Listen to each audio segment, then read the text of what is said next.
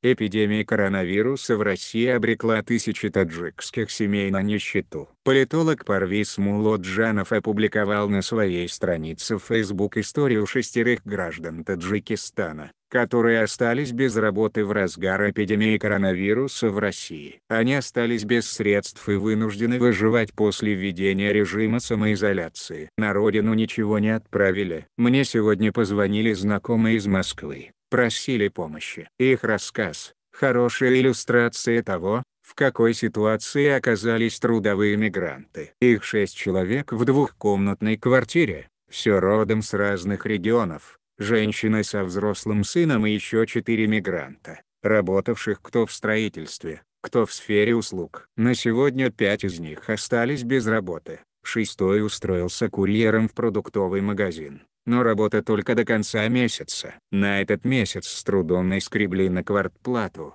На продукты почти не осталось. Минус пишет Парвис Мулоджанов. Он рассказывает, что мигранты живут в складчину, готовят в казане на всех, чтобы было дешевле. Но продуктов им хватит только на неделю. Уже собираются звонить насчет гуманитарной. Работы у них нет.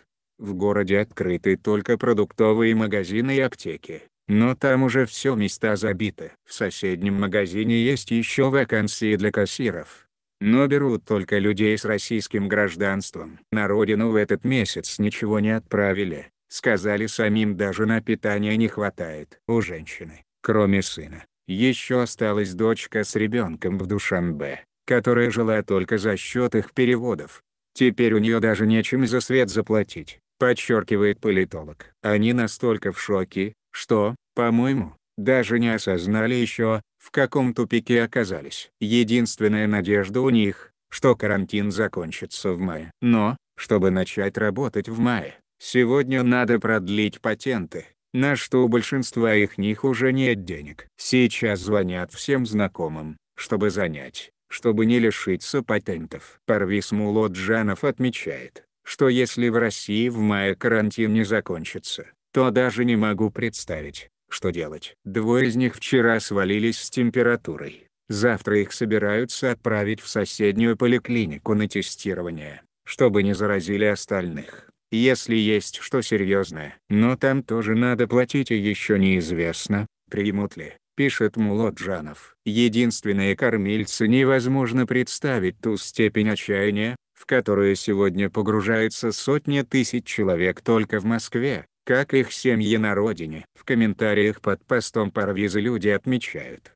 что нет смысла продлевать патент, так как ситуация в России не наладится к маю. 14.43 4 апреля если запрет продлят, нам придется туго. Истории таджикских мигрантов, которым коронавирус усложнил жизнь. Комментаторы рассуждают о тяжких последствиях прекращения потока денежных переводов от мигрантов которые для многих семей Таджикистана являются единственным источником дохода. Один из пользователей, подчеркивая экономическую зависимость, пишет, когда в России будет кашель, у Таджикистана будет пневмония.